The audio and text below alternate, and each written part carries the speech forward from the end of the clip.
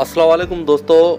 A T F की जानब से मुखैर हजरात के तावन से दादू के मुख्तलिफ़ इलाकों में अलहमदिल्ला दो भैंसे, दो बकरे शहरी और इफ्तार के लिए गरीब और मुस्तक फैमिलीज़ में गोश्त का अहतमाम किया गया।